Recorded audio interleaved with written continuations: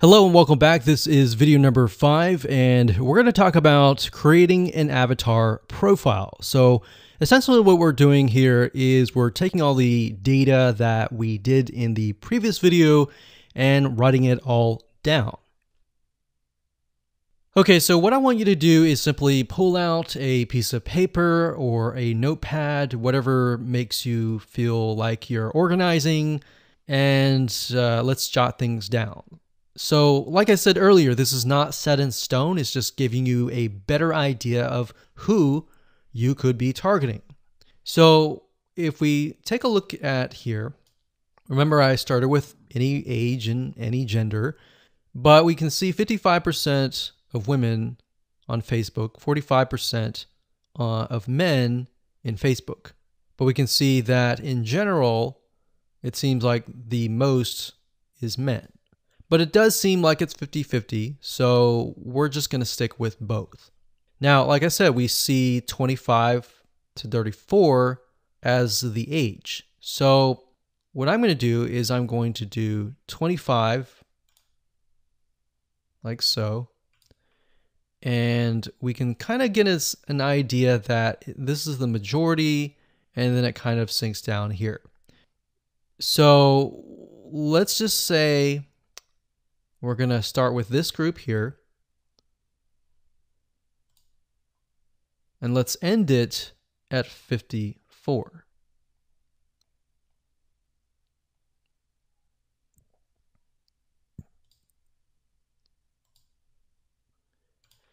And now we have about 2.5 to about 3 million.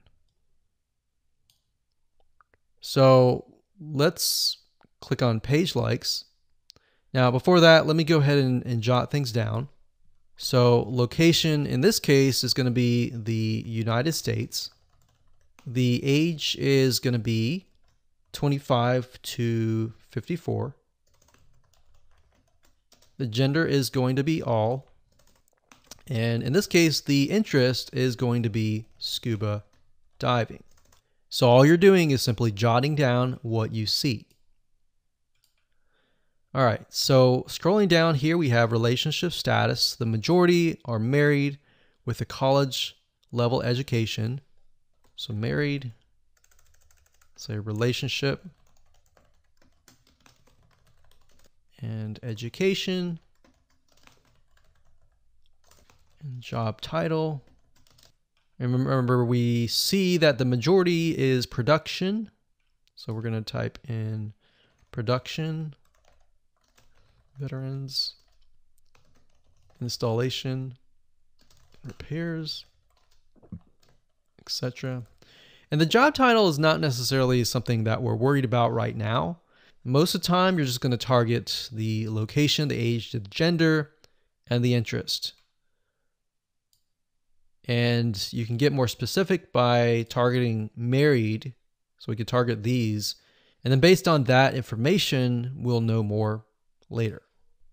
So let's scroll back to the top and we'll go to page likes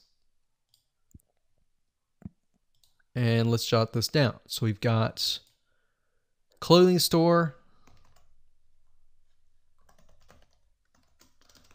They like the nine line apparel and then they got Ray.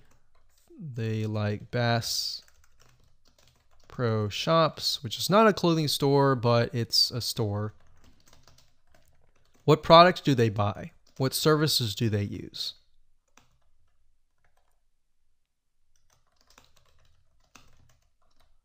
What websites do they visit?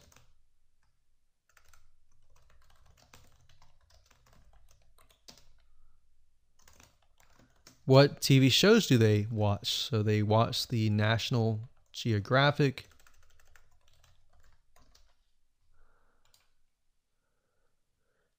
They like to visit Allrecipes.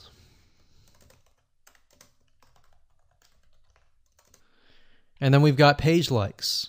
So what's the difference between this and this? So this is page likes, and these are actual categories that they're interested in. So we've got page likes, we've got Ginnie Springs,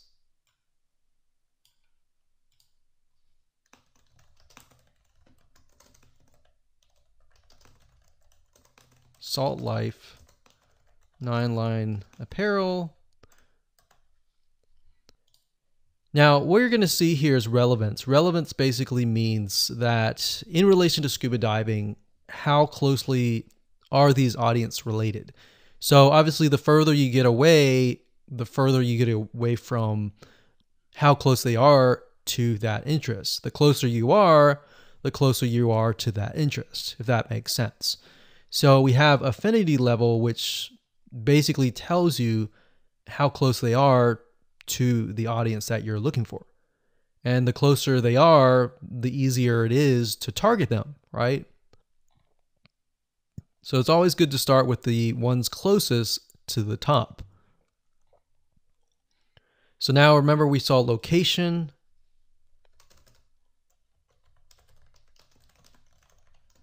We saw a lot of Florida and we saw a lot of Hawaii. And then in terms of activity and devices, we saw that a lot of them use mobile devices. So iPhone, Android, etc.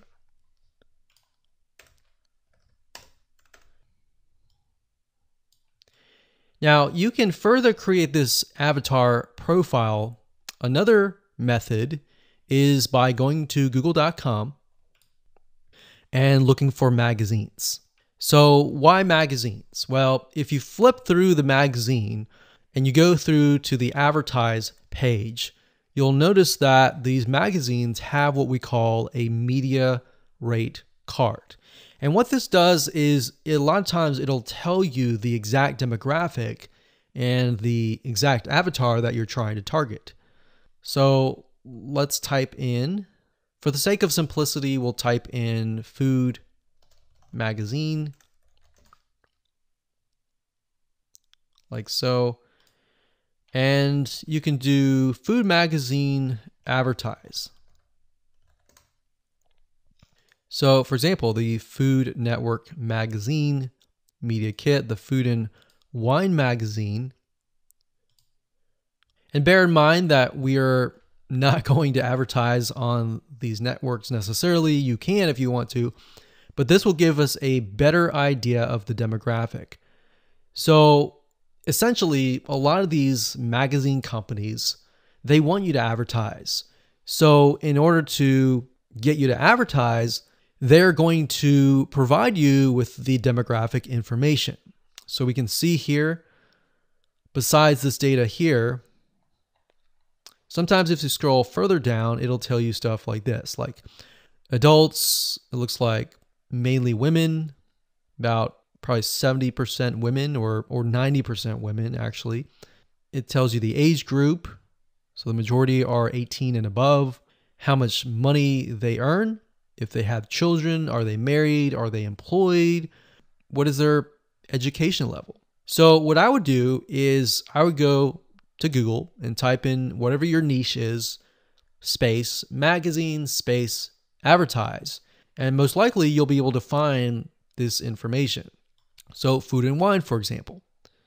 If we go to the advertise, it'll give you an idea of who you're targeting. So, audience right here. We can go and take a look at the audience profile and match it with the Food Network one and get a better idea of the patterns that show up. What are things that are consistent throughout, essentially? So that's another method that you can use. You don't have to, but I just wanted to give you more so that you can kind of target people in a more specific manner. So go ahead, write things down, and keep it saved on your computer.